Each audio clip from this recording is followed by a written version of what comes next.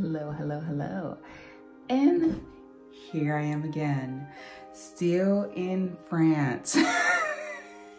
I cannot express how great it is, but also how ready I am to get back to my regular life or home. So today we're gonna chat about uh, my trip to Veuve Clicquot, the champagne house. I have put together a video of the tour so you don't have to hear me sitting here banging on about how amazing it was, okay? And before I even cut to that, I wanna show you some of the goodies I got. Let me show you the bag and you'll actually see everything we got at the end of the, um, the video.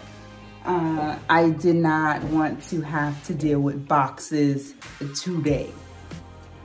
And here we are.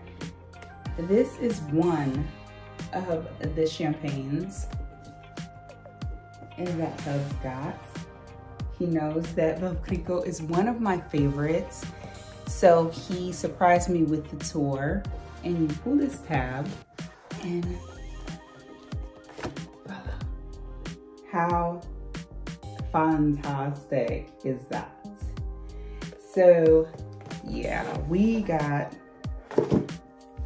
a couple things while we were there. This is one of them.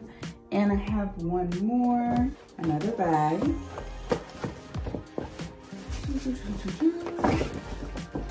Look soy, look soy. And here she is in her amazing glory. My favorite, all-time favorite champagne, rosé. so, thanks for joining me and I hope you enjoy.